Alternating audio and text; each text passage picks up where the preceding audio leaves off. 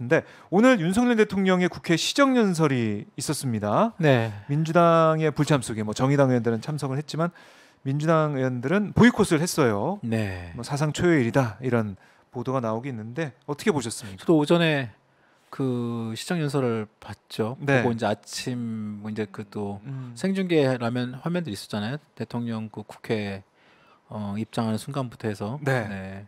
대통령은 한 20여 분 정도 했던 것 같더라고요. 제가 잠깐 시간 18분. 18분 그렇죠? 지금 정확히 나왔는데 18분 18분 정? 28초. 28초. 역대 제일 짧은 최단? 시정 연설. 그렇죠. 최단. 아. 아, 예. 아니 그러니까 윤 대통령 뭐든 하여튼 되게 짧게 하세요. 짧게. 원래 예정됐던 것보다 어, 짧 게 어, 하는 것이 뭐 그게 몸에 배어일 수도 있는데 이명박 전 대통령의 26분이 네 최단 기록이었는데 그걸 깼습니까? 깼습니다. 차이가 많이 나네요. 심지어 뭐 유엔 총회 가서도 그걸 또 어? 원래 정해진 시간을 남 다른 나라 대통령들은 그 시간을 넘겨서까지 음, 더 훨씬 얘기를 했음에도 불구하고. 네. 우리 대통령은 유엔 연설 가서도 아마 최단 시간을 아마 연설했던 것 같은데 여하튼 이번에도 시정 연설 아까 18분요. 어, 네. 역대 대통령들 연설 저희도 꾸준히 이렇게 보아왔고 음. 국회 연설하는 게 굉장히 많았잖아요. 그렇죠. 뭐 시정 연설 했고 아니면 뭐 또 특히 예산안 시정 연설 무조건 다 하시는 거고 네. 그 다음에 또 여러 가지 뭐 그 일정이나 또 특히 뭐 음. 새로운 대통령, 새로운 정부가 출범하면 또 국회에 또 개원 인사 포함해 가지고 국회 개원 때도 마찬가지고. 근데 이렇게 정말 이렇게 아마 이제 내일 아마 신문들이 어떻게 보도할지는 모르겠습니다. 아마 일면 신문에 그 아마 사진들이 아마 그렇게 나올 것 같아요. 정말 네. 국회 의사당이 한 절반 이상이 전부 다 텅 빈, 그렇죠. 텅빈 모습에 음. 대통령이 시정한 시정 연설하는 모습들을 아마 쭉 담을 것 같은데 네. 처음이잖아요. 우리나라 처음이죠. 헌정 사상 처음 네. 대통령의 어떤 그 예산안 시정 연설에서 야당이 음. 그것도 어 다수의 어 야당이 160석이 훨씬 넘는 네. 야당이 아예 자리를 다 비워버리는 음. 그러니까 대통령 윤 대통령이 잘 쓰는 말 있잖아요. 쪽팔린다는 말. 네. 아, 정말 대통령 말대로 쪽팔리는 일이에요. 정말 이것은 아, 이번 네, 네. 네. 이 일이 음. 그게 그래요.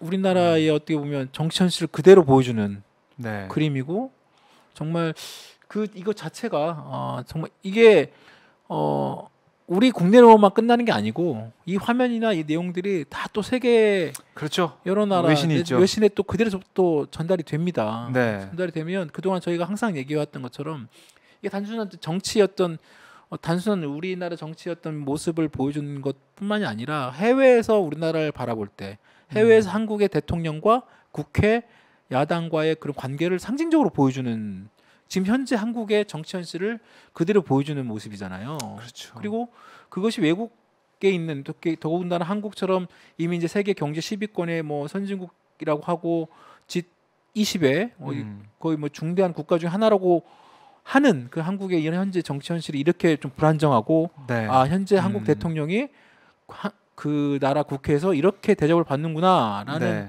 인식을 외국에 있는 투자자들, 음, 외국에 있는 시각들이 그대로 전달이 되는 거예요. 음. 네. 그거 아, 자체가 어떻게 보면 또 하나의 리스크를 또 그대로 보여주는 것이고 아, 그렇네요. 네. 이게 정치 상황이 이렇게 혼란스럽다. 이걸 좀 보여줄 수 있다. 음, 외신들이 볼 때는 어유 그럼 대한민국이 이렇게 좀 힘들구나 음. 이런 상황. 네네 그래요.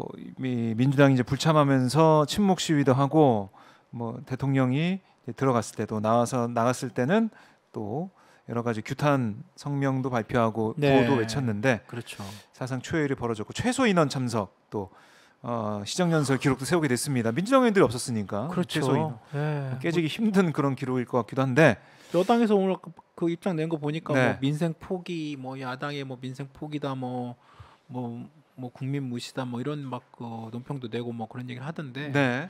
근데 과연 오죽했으면 야당이 이런 음. 그런 걸 국회 의사당 그 아, 출석 자체를 포기하고 네. 가지 않고 거부하고 했을까? 그 원인을 과연 누가 제공했을까? 음, 그런 거를 정말 생각을 해볼 필요가 있을 것 같고 국민들도 네. 아마 이걸 잘 알 것 같아요. 그렇죠. 지금 현재 벌어지고 있는 이 정치 상황을 네.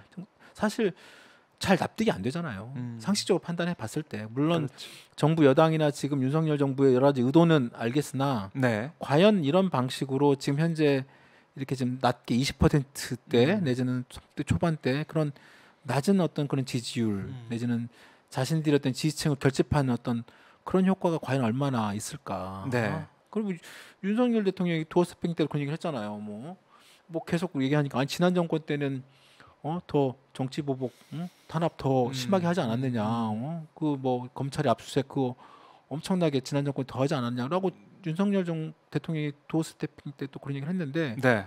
근데 그렇게 정말로 지난 정권 때 그 윤 대통령 말대로 음. 어? 그 당시 정부 여당이 어? 그런 어떤 정치 보복성 내지는 야권 탄압 내지는 뭐 언론 상대로 압수수색을 이렇게 했다는 거면 네. 그거 누가 했습니까 그때 당시에 검찰총장 음. 포함해가지고 중앙지검장 윤석열 그렇죠. 그렇죠 윤석열의 어. 검찰이 했던 거 아닙니까? 네.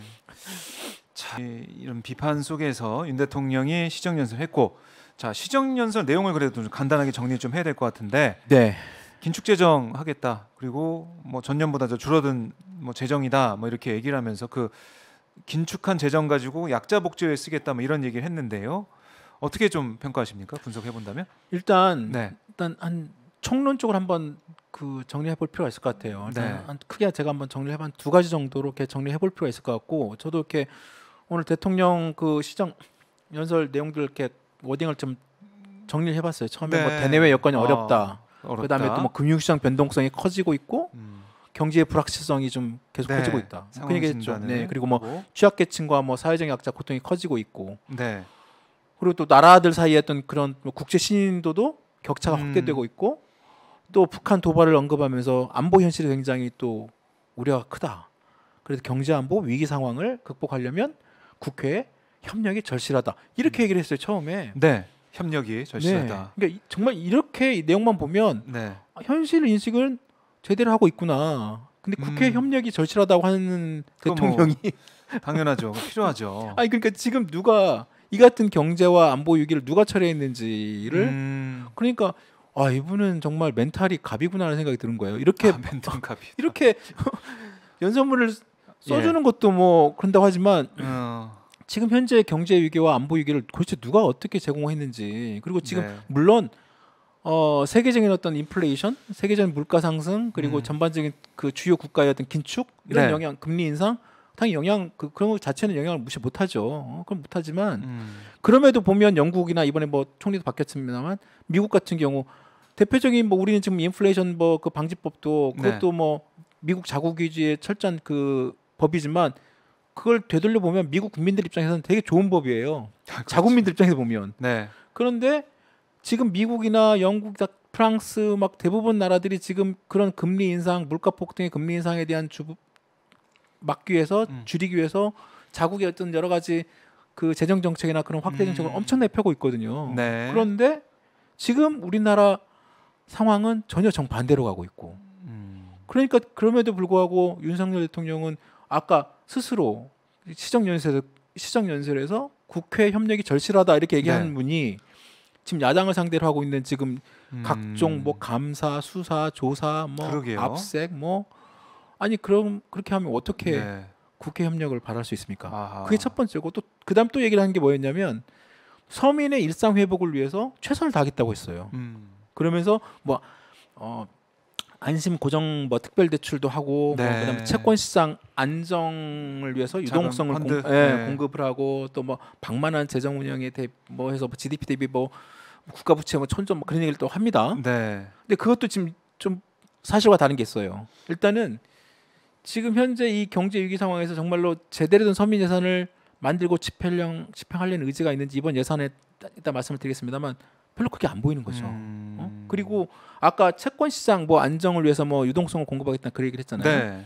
대통령이 얘기를 했는데 이번 지금 채권 시장 완전히 지금 사실상의 거의 금융위기에 버금가는 어. 수준의 지금 혼란이 왔잖아요. 예. 그게 누구냐? 네. 김진표 강원 도지사 지사. 아 참, 네, 김진태 김진태 강원 도지사의 네. 이번 레고랜드 그 지급 거부, 지급 보증 거부를 하면서 채권 시장이 완전히 지금 음. 혼란에 빠졌어요. 그러게요. 네. 그래서 그 갑자기 50조 원을 또 발표를 합니다. 50조 네, 지원을. 네. 50조 원.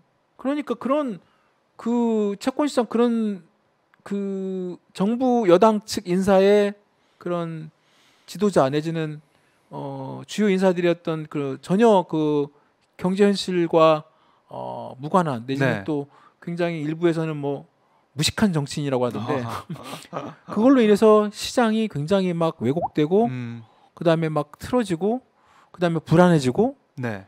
그러면서 우리나라 갑자기 그 채권 시장이 또 채권 금리가 폭등하고 음, 영국하고 똑같습니다. 어, 네. 똑같은 혼란이 네. 벌어지고 있다. 지금 어제 오늘 오늘은 조금 좀 어제는 좀 그 정부가 그런 50조 원 플러스 알파로 뭐 어떤 그런 네. 채권 시장 안정을 위한 유동성 공급하겠다 발표한 이후로 좀 안정이 되긴 했습니다만 네. 오늘 환율도 굉장히 불안하고 여전히 또 주식시장도 마찬가지로 불안하고 네. 채권 시장도 여전히 지금 기업들은 지금 돈을 묶고 해서 난리가 났고 그러니까 이 혼란스러운 상황이 이어지고 있는데 오늘 윤 대통령의 에, 이 시정 연설 이 네. 내용으로 좀 밖에서 볼 때또 네. 우리 국민들도 볼 때 안심할 수 있을까 여기에 대해서는 의문부가 계속 지키는 것 같아요. 맞아요. 네, 시정 아까 연설 뭐, 충분하지 않다. 네 지금 아까 뭐 박 기자도 얘기했지만 현 정부 이번 예산안의 핵심은 재정 긴축 내지는 음. 재정 건전성 확보 건전성, 예. 뭐그 이런 얘기 얘기를 많이. 하더라고요. 네, 네.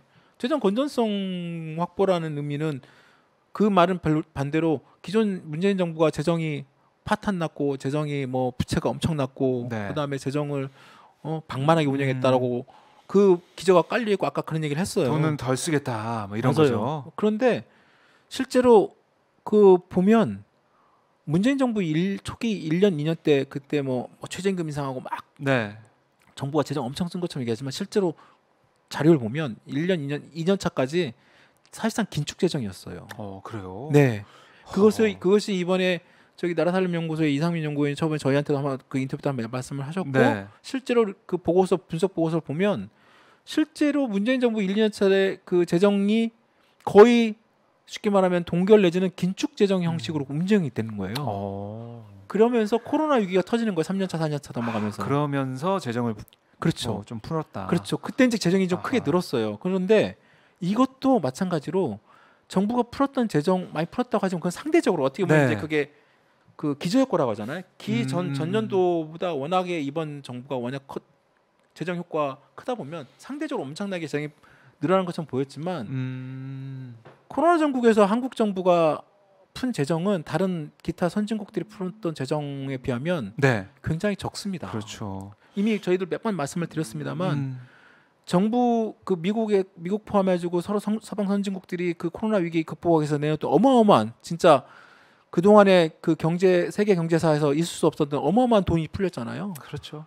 그것 때문에 지금 너무 힘들죠 인플레이션 때문에. 그렇습니다. 그것이 이제 인플레이션 온 건데 네. 한국 정부는 그 정부의 재정 정부가 그 빚을 떠안는 게 아니라 다 우리 그 정부 재정을 풀긴 풀었지만 대부분 다 그거를 자영업자들 음. 국민들이 다 빚으로 떠안았어요. 네. 사실상 그러면서 오히려 가계 빚과 음. 그 다음에 소상공인 자영업자들의 빚이 엄청나게 늘어납니다. 네. 그게 음. 그걸 통해서 사실상 그러니까 국민들이 빚을 떠안고 코로나 위기를 극복해 나가는 과정이었던 거예요. 아. 그런데 마치 문재인 정부의 재정을 방만하게 운영해가지고 지금 재정 파탄이 됐고 국가 부채가 엄청나게 컸다고 지금 음. 윤석열 정부가 얘기를 해가는 거거든요. 네. 그게 정말 말이 안 되는 거죠. 말이 안 된다. 그러니까 이 제대로 된 진단이 없기 때문에 이 대책도 정책도 좀 글쎄요 제대로 나오지 않을 것 같다라는 생각.